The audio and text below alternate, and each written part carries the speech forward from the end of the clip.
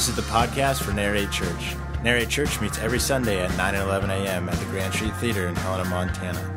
For more information, visit www.narratechurch.org. If you haven't been with us this far, or at least since January, we started a series on that first Sunday back in January called It's About More.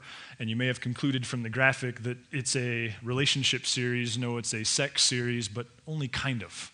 Uh, really, what we're trying to suggest in this series is that sexuality is about way more than sex. And so we've explored uh, issues like lust, some of you skipped that one. I had I've, I have someone that I talk to frequently, and she said I just couldn't handle it. I, no way, I couldn't come to that one. And yet we didn't really talk about sex that week. What we talked about is that lust is not just a sexual issue; it actually is a, a life issue. Last week we talked about intimacy. This morning is a treat in my mind because this morning you're going to hear from Caleb. And if you're not familiar with the narrate culture, Caleb has been around for a while. He's been working with students. Most recently, he's, we talked in Vision Weekend about the value that we wanted to bring to this idea of internships around here. And Caleb's the type of guy that uh, the staff and the council has empowered, and he just keeps hitting the ball out of the park. And so, as someone who works with middle school students every weekend, it felt appropriate to me to ask him to come give uh, the climax talk. See, the 11 o'clock has so much more personality. Because the only person that laughed at the nine was the guy who was making fun of me. This guy up here in the front row, who shall remain anonymous, but his last name, it sounds a lot like Ball. Um, anyway, uh, you know, what I've asked him to do is come talk to us about, you know, uh, not to talk to us exclusively as singles, because we're not and yet really to speak he's a single person himself. And so to come talk uh, about singleness and sexuality and singleness and yet i think you'll see that it very quickly relates to all of us no matter what your relational status is. So come on up here caleb. Would you give it up for caleb? Welcome him for all right. Thanks guys. A little surprised. Is this on? Oh okay. A little surprised that i'm up here talking in this series Kind of, me too. All right. Uh, so uh, this morning, what I want to talk to is people that are single, people that are dating, uh, people that someday hope to get married. And uh, before you shut off, if you're like, I'm married, why am I here? I should have stayed home. Uh, I think this morning is just as valuable uh, to you because what we're going to go over is this idea of we don't have marriage problems. we have relationship problems. We don't have marriage problems. we have single people problems.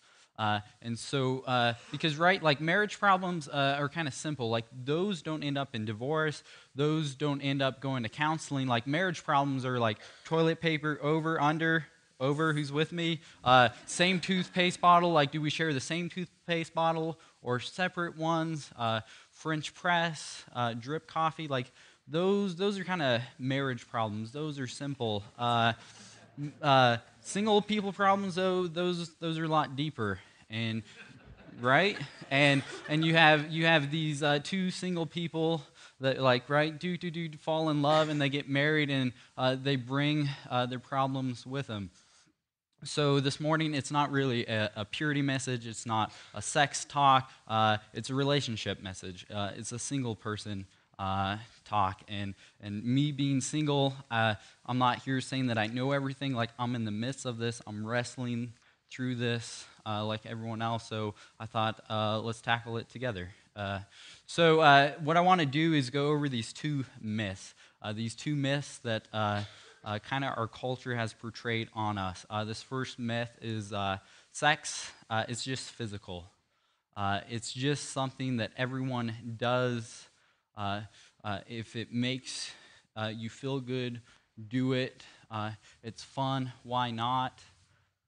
Uh, as long as you're doing it safe, as long as both people are in agreement, it's, it's fine. Like, it's just physical.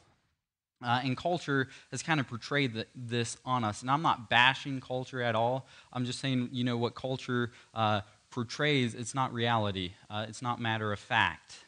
Uh, and so it's this idea that it's a whole lot more uh, like like I don't think culture is against great marriages. I don't think culture is against happy relationships, uh, but it's just not sellable, right? Like we would not watch a movie of this happy married couple because it'd be like, how long are they just going to sit in their living rooms and read? Like, this is lame. All they do is walk in the park and, like, how was Billy's day? Oh, it was great. How? Like, like, and then sometimes they don't even talk at all, right? Like, it'd be lame. And we sure don't want to watch married people have sex, so we don't even go there. Like, culture portrays that uh, uh, the more, the better. Like, that's why we have TV shows like The Kardashians and Jersey Shore. I'm not bashing if you watch those, but right, like, like they, they thrive off of this idea of uh, uh, the more affairs, the more drama, uh, divorce, uh, more money,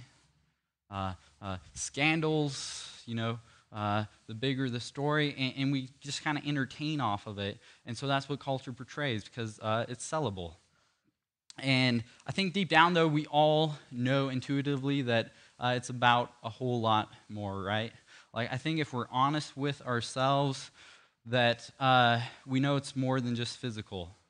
Uh, and to, to, to get us all on the same page, whether uh, you follow Jesus or not, or whether you believe in the Bible or not, I, I want us to all get on the same page. So I'm going to ask a couple questions. And these questions, uh, they might bring up some hurt or some pain of some past experiences, and this is not my intent at all. It's not my agenda. My only thing is I want us all feel the, the gravity of this. Uh, so here they are. Uh, why is it when a child uh, is molested and they grow up and uh, they kind of connect the dots? It's not, oh, some dirty old man touched me. Uh, it's a lot deeper than that. Uh, they carry that with them uh, the rest of their lives. Uh, sometimes even kind of twilting them off their axis uh, to where they can't even really cope with society. Why is it men with the deepest sexual addiction, not just like this curiosity, but like this deep consuming addiction?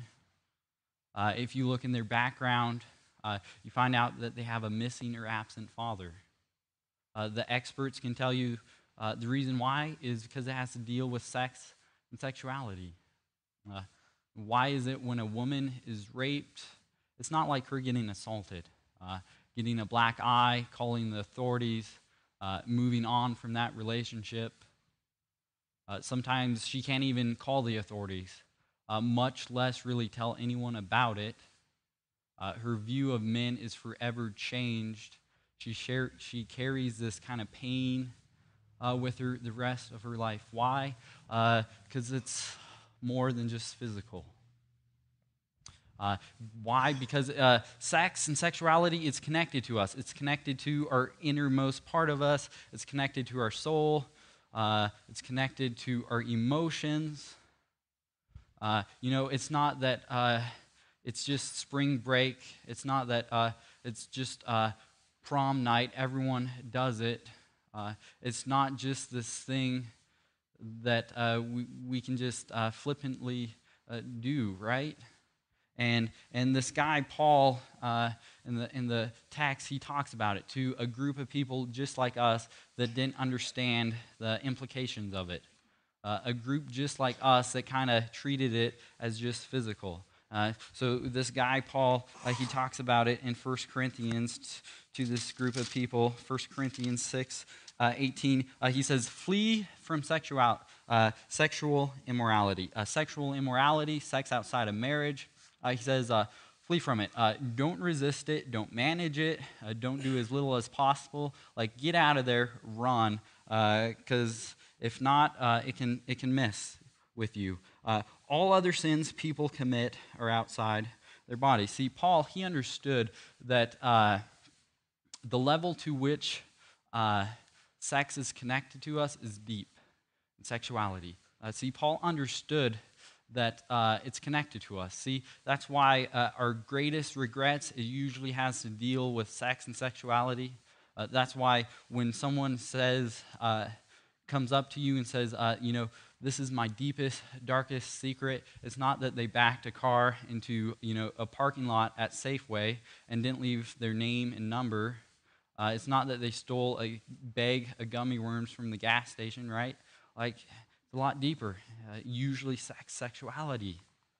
Uh, he goes on to say, uh, but those who sin sexually sin against their own bodies. Uh, see, when, when we mess with this, uh, we cheat ourselves, uh, we hurt ourselves. It's not that uh, it's more uh, it's not that it you know can't be forgiven. It's not that it's worse than our other brokenness, but the level to which it hurts us, uh, it's like none other. And and this guy Paul, he sees this to a group of people uh, like us, like in, in a culture that uh, doesn't really portray uh, sex as something uh, about more. And so a couple verses before, uh, he, he, tells this group of people, uh, verse 16, Do you not know? Uh, no, Paul, we don't know. Uh, that you, do you not know uh, that he, he who unites himself with a prostitute is one with her in body? And uh, w- when Paul said this, this group of people were like, Whoa, Paul, I don't know if you know what you just said, but you just used this word unite, and this word unite back in the Greek uh, meant uh, two becoming one that couldn't be undone. Like super glue, uh, two coming together that like they're stuck, they're not coming apart. Like uh, scrambled eggs and cheese, like uh, spaghetti and tomato sauce. Once you mix it, there's no undoing it, right? Uh, that's what this word unite meant. And this group of people, they were like, Paul, we're just having sex with a prostitute. it's not that big of a deal. Like, we're not uniting. Come on. Like, slow down here, Paul. Uh, like, uh, all this is is a little transaction. Like, I have a need. She's fulfilling it. Uh, this is just a mutual thing. This is just a pastime. Like, uh, don't be so uptight. And uh, Paul goes on to say, uh, For it is said, the two will become one flesh. I was thinking about this. Like, when God created sex and sexuality, like in the midst of creation, right? Like uh, while he was creating uh, everything, uh, like at one time there wasn't sex and sexuality, right? And God's like, oh, I got a great idea. Uh, angels, come here. Uh, you're not going to be able to understand this, but I'm going to create something great. I'm going to give it to cats and dogs, and animals, right? Uh, for pro- procreation. And then I'm going to create humans, and I'm going to step it up a notch. Uh, I'm going to give this to people, these two, these, these people that these two people oh that was mixed up okay right so so that uh, these two people can experience uh, this this thing full of passion this thing that is fierce uh, that they can experience this thing uh, of intimacy intimacy to know and to be fully known. uh, this thing that I want it to be a reflection of what I want them to experience with me intimacy, to know and to be fully known. Uh, and it's going to be great. Uh, but man, I sure hope that they're careful with it. Uh, I sure hope they use it wisely because if they don't, the level to which it can hurt them and bring pain to them, uh, it's going to be deep. Uh, and it's really gonna hurt. So uh, be careful with it. Uh, see, sex, uh, it's, it's this thing of intimacy and commitment, uh, the only hope that relationship and marriage has. And if you're like, that's, that's all good, Caleb, like, I'm glad that's your preference. I'm glad that you think you really shouldn't have sex before marriage. Uh, you know, I understand that's the kind of the churchy Christian preference, but that's not my preference. Uh, here's the thing, though it's not really a preference, uh, it's a predictable outcome. See, a preference is uh, like I like uh, tea, you like coffee, uh, I like pop music, you like country music. See, that's a preference. see, a predictable outcome is like health, right? Like if you don't go work out, eat a healthy diet, Actually, what? No. Okay, I messed that one up. So, right, uh, predictable outcome is like health, right? Like if you eat what's right and you eat nutrition uh, and you do physical activity, uh, the predictable outcome is that uh, you're going to be more healthy. Uh, if you eat junk food, McDonald's four times a day, and just sit on the couch and play video games, the predictable outcome is that you're not going to be uh, all that healthy. Uh, uh, when you mess with sex and sexuality uh, just flippantly, uh, there's a predictable outcome. Uh, getting, getting ready for today, a couple months ago, I started kind of talking with friends, connecting with people, people that were married, people that were single, people that had shattered uh, relationships, and I just started asking like, uh, broad range, what do you think of the subject? Uh, what do you think about this? And I met with this, this, this guy, and I was like, so how's your marriage? They've been married a couple years now, and I was like, how's your marriage? And he's like, ah, it's, it's okay. It's, it's good now. Uh, what he goes on to tell me is that uh, he had brought something into his marriage. The, uh, what he said was that uh, they'd been married for two years, and uh, he had brought something in that uh, he didn't tell his wife. What it was was a month before they got married, uh, he had sex with his ex girlfriend. And uh, he couldn't tell her, he couldn't tell anyone of this thing that he had did, this thing that he treated as just something physical. And so he brought this into his marriage, and uh, it kind of wrecked his marriage for the first couple years. Uh, had this pain, he had this, uh, this depression, this guilt of what he'd done. He couldn't even tell his wife, who he had he, he loved and he adored. Uh, and see, if you were to ask him, he would say that sex, uh, it's a whole lot more than just physical. Uh, in fact, it kind of wrecked my first couple years of marriage because I didn't treat it as something fragile. Uh, but see, you, you can determine your story. You can determine where you're at from six months from now, a year from now. See, you can determine your story for someday when you meet that someone, that someone that you fall in love with. Uh, you can determine that story uh, by deciding today. Really, there's only two kinds of stories that you, you can tell, right? There's the story of, there, yeah, there's spring break, there's prom night, uh, there was uh, the friends with benefits. Uh, but now I've found you. Like, I want to fall in love with you. I want to get married to you. Like, I'm going to stay fully and committed to you. Like, that's one story. Uh, and then there's another story that's much better. It's a story that, uh, yeah, there was there was prom night.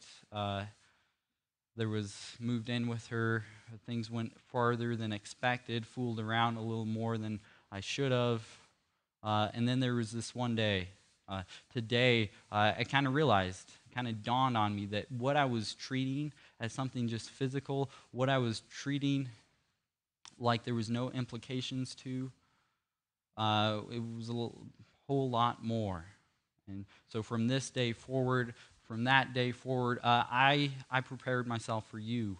Uh, I waited for you. See, that's a lot better story. Uh, that's a story that you want to tell. Uh, that's a story that you can tell to, to tell to that someone that you meet someday. Uh, see what, what, that, what that guy uh, that I talked about, about his marriage, bringing that, that past experience, what he didn't realize what, was that his past uh, was his future. Uh, see, you can determine uh, what that story is uh, in your future. Uh, the second myth that I want to talk about is this, this right person myth. Uh, and this right person myth uh, goes like this uh, I can skip intimacy and commitment and relationship skills because I've found the right person, right? Like, because I've found the right person and we have chemistry. it's like these two people, they got chemistry, right? Like, they can sit and stare blankly into each other's eyes for hours and not say anything. Uh, they both love snowboarding. They both love the same kind of music. And like she can't keep her uh, eyes off of her. He can't keep his hands off of her. Uh, and they're like, I have an idea. Like, we have such great chemistry. Let's get married. So uh, they're like, yeah. So they get married. Uh, and then six months down the road, a year down the road, uh, uh, things are getting kind of rough. So the woman's like, I, I have an idea. I know what will uh, kind of cure our marriage. Let's have a baby. And uh, the guy's like, All right, that'll require sex. So he's like, All right, cool. So uh, they have a baby. they bring another person into the dynamic, into the relationship. And then uh, another year down the road, two years down the road, uh, uh, it kind of fades off again. Uh, and what they realize is that all they really had was chemistry. Uh, they didn't have relationship skills. They didn't have intimacy. They didn't have commitment because they skipped it. Like they thought that chemistry could hold them together. They thought that like no one had ever loved like us, so that'll keep us together. Uh, see, these two single people that got married, they thought that uh, uh, since they had a song, uh, they should get married, right? like, like uh, it's even a country song. How cool is that? I know. Let's get married. So you have these two single people uh, with problems that get married, and then six months down the road, a year down the road, financial issues come, health problems arise, and what they find out uh, is that uh, their song wasn't enough. Uh, why? Because they skipped uh, intimacy, they skipped commitment. Uh, see, w- what married people thought, single people that got married, what they thought was that uh, once they got married, they would have a new beginning, right? Like somehow God would flip a switch, their slate would be wiped clean, and that uh, somehow their single person problems wouldn't trickle into their marriage. Uh, they thought that uh, their, their, their uh, single people problems uh, would just disappear. So uh, they get married, and, and they find out that that wasn't the case, right? And, and, and this guy, Paul, he, he talks uh, about uh, this idea of becoming the right kind of person. See, single people uh, thought that they didn't have to worry about uh, becoming the right person, that all they had to do was uh, try to find the right person. And uh, when we have that mindset, we get in trouble. when we have the mindset of trying to find the right person, the text doesn't really have a lot in there about it. Uh, but when we change our mindset of becoming the right person, uh, there's a whole lot in the text uh, about it. And, and this guy, Paul, uh, he talks about it in 1 Corinthians 13, maybe one of the more uh, famous passages in the Bible. Uh, they call it the love chapter. And I'm going to I'm gonna read a couple of these, these things. you can read the rest on your own. but this this is all about becoming the right person. Uh, these are uh, some sweet dating skills or some sweet relationship skills if you take them to heart. Uh, the first one is uh, love is patient. Uh, like love uh, doesn't push, it doesn't pressure. Like, like if you're in a relationship and all your, all your the, the boyfriend wants to do is get you in the bre- uh, bedroom, like that's, that's not love, that's selfishness. Uh, love is kind. Another word for that is considerate. Uh, you care how the other person feels, you want to make them happy. Uh, love, uh, it does not envy. Uh, envy is like this I feel insecure about myself, so I'm going to make you feel insecure about you. I've had a horrible day today, so I'm going to make sure you have a horrible day. Like, this is uh, envy, is uh, the reason some of our parents divorced. Uh, envy, maybe your parents didn't divorce, but they didn't have that great of a marriage. Like, this, uh, these are reasons why. Because they thought they didn't have to be kind. Because the other person would be so great that they would never uh, make them have to be kind. Uh, the last one is uh, it does not boast, it is not proud. Like, how many of our uh, fathers uh, would never admit they were wrong? Uh, how many of our mothers would never take responsibility? Like this, this is all hard work. Like becoming the right kind of person, it's tough. It doesn't come natural. Uh, it's not easy. Uh, but long term, uh, it's best. Uh, my challenge for you, if you're you're single, is uh, what are the single pers- uh, single things that you need to work on. Uh, my challenge for you is determine your story by pre-deciding your future. maybe you need to get out of a relationship uh, move on. Maybe you need to stop dating and just focus uh, for a year of becoming the right kind of person. Uh, maybe you need to focus on being kind and being patient. Uh, you need to uh, maybe stop these addictions that uh, you have.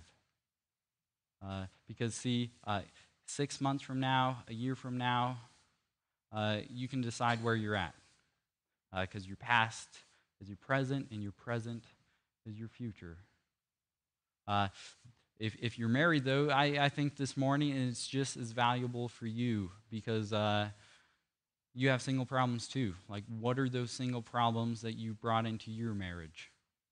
Uh, maybe it's this addiction that you thought that once you got married you would kick, but in fact you haven't. It's kind of uh, uh, consumes you now. Uh, maybe it's this anger or bitterness that uh, growing up in your parents' household, there was this, this, this stagnant thing of anger and bitterness. And then as a single person, it carried on with you and you thought that once you got married, it'd kind of go away, but in fact, it hasn't. And now it's kind of tearing uh, your relationship apart. Uh, like, what are those single problems? Like, you can determine where your marriage is at six months from now, two years from now, 20 years from now uh, by, by deciding, uh, uh, by pre deciding your future by becoming the right person. Uh, if you if you're you've been uh, part of a shattered relationship or a broken marriage, uh, it's not too late. Uh, God, He's all about second chances. Uh, uh, you read about people in the Bible, the greatest people. they were all broken people that had second chances. what is it that you need to focus on as a as a as a person to become the right kind of person.